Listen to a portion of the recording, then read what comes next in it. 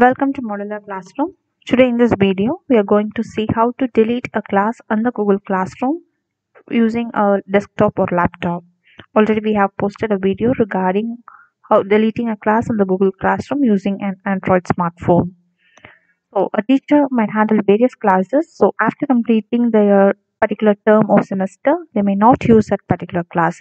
So they can archive that class and they can later delete a class. So that's a two-step process while deleting a class in Google Classroom because they have to archive a class and they have to delete the class.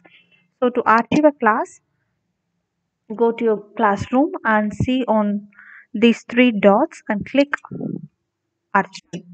So now it will ask you a message whether to archive a class by using this class name. This class name is demo class.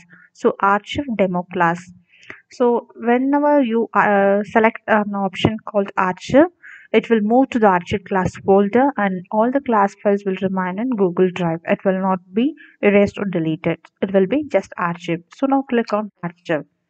So now this class has been archived so that you can no longer able to see your class in the main Google Classroom because your class is now archived. Now go to your main menu and click on this archived classes folder. Now you can see the difference between a normal class and an archived class. A slight slanting lines or uh, appear are appearing here denoting that it is an archive class. Now click on these three dots. You can able to see three options. One is that you have, can able to copy an archived class. You can restore an archived class. That is, you can uh, back take this class back to a classroom tab, and permanently you can delete uh, this class. Uh, if you click on this option restore, this class will be restored, and you can also communicate with this class as usual. If I choose this delete, this particular class will be deleted permanently. Will have you the particular teacher will have no longer access to any post or command that have been added to this class. But all the class files will remain in Google Drive. Uh, remind remind um, important point that is you can't undo this action.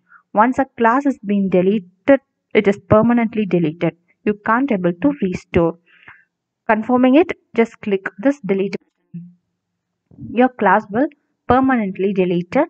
It will also not appear in this archived class folder also. And it will not appear in your classroom tab also.